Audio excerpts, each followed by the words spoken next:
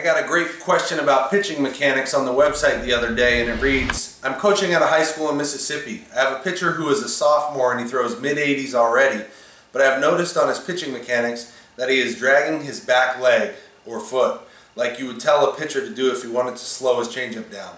I have worked with him on chair drills and trying to get his heel to the sky, trying to prevent him from dragging his back leg or foot. He has gotten a little bit better on dragging his back leg and foot and getting his heel to sky, but he is still, for the most part, dragging his leg, foot, toe after he pushes off the rubber. Is there anything else I can work on with him to help correct this problem? Because I know he has to be losing some velocity. Thanks for your help. Love the website. Great stuff. That's a great question, Coach. Thanks for joining the newsletter and, and asking it. Uh, and I think your answer lies not in where you found the problem, which is out here at the end of the, the delivery, but a lot earlier in the delivery. I made a few uh, a video a few weeks ago called the most important part of the pitching delivery. And to summarize that video, I just say that the most important part of the pitching delivery is the beginning because everything that happens later is an effect to what you do in the beginning. For your question specifically about how to get this back leg to not drag around or to, to get it up more, get more up and over heel sky, two things have to happen. And your player may be lacking in one or in both of those areas. The first one is the amount of energy and speed that he creates going down the mound in a linear fashion, his linear energy. He may not be getting enough linear energy. The second thing is going to be pitching against that front leg. You leveraging that linear energy that he created and bracing against that front leg, pitching against it. Now, if he does those two things correctly, or any pitcher does those two things correctly, that leg is going to have no choice but to come up and over that front leg. So it's going to be an effect to good energy this way and then pitching against that front leg. A great example of this is a pole vaulter. A pole vaulter is going to run as fast as they can and then stick that pole onto the ground. And where are they going to go? That energy is going to stop. They're going to leverage it stop it, and the, the, the energy travels up the pole and shoots them over the high bar, right?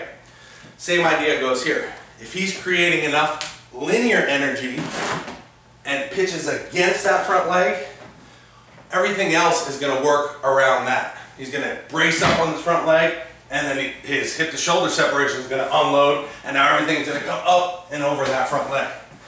So my suggestion to work on this is going to be to get video, slow motion video from the side. So if he's pitching this way, you would have your camera there, get it on slow motion and watch him. Okay? See how much energy he's creating coming down that mound, how much leg drive he has. And then also pay attention to his front leg. Is he collapsing on his front knee and continue after he lands, does he continue to go forward with his front knee? Watch the front knee specifically and see how far after he lands does he go forward. The best pitchers are going to brace up against that front leg. A lot of the higher velocity pitchers are straight at release point or slightly bent. Okay? But the more bent you are or the more that you continue to move forward, the, the more energy you're going to leak and the less you're going to have to come up and around. I call that walking through. When a guy kind of just falls through with his front leg or continues going with his front knee, it's kind of like walking through, and that back leg kind of just drags through.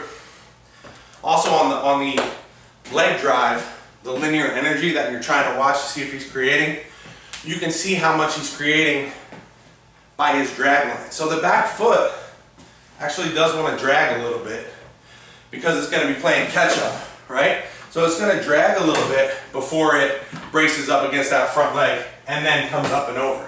So it's okay if you see a drag on from the pitcher's toe for a little bit. Six or eight inches is okay on the drag line, all right? But after that, once that energy hits that front leg and the hip to shoulder separation, the rotational energy unwinds, that's when you want to see that leg to start to come up and around. So don't worry about this so much. Don't focus on the end of the delivery. Focus more on his linear energy, his leg drive, and how he's using his front leg to pitch against. And the leg will come up and over as an effect. All right, great job noticing the problem though. You just gotta look a little further back in the delivery when you're trying to solve it. So, hope that helps. Check out my pitching program if you haven't already. It breaks down the mechanics in full, plus a ton of other great information. So, check that out when you get a chance.